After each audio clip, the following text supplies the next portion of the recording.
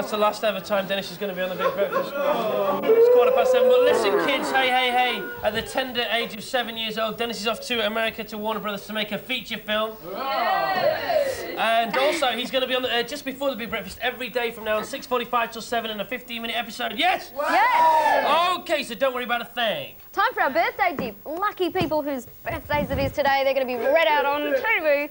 Happy birthday to Terry Smith, who is 52 today, from his daughter Claire in Stoke-on-Trent. Good viewer, good viewer. Happy birthday, Graham Wren, who's 21 today. From Emma Lunnon in Milton Keynes. Happy birthday.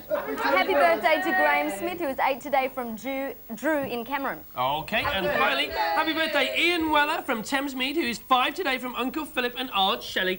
Everybody else who you phoned in or faxed in or wrote in, we're very sorry, we apologise, but it's just a luck of the draw. Today's phone and fax question on 081 985 1111 or fax us on 081 985 2222. We're saying goodbye to a lot of things today. What would you most hate saying goodbye to? Oh, on 985 111. Let us know as soon as you can, please. Coming up, Anthea Turner dressed as Lady Penelope. But first, the question about the clip is, what type of fish is this? And remember, Don't phone, it's just for fun.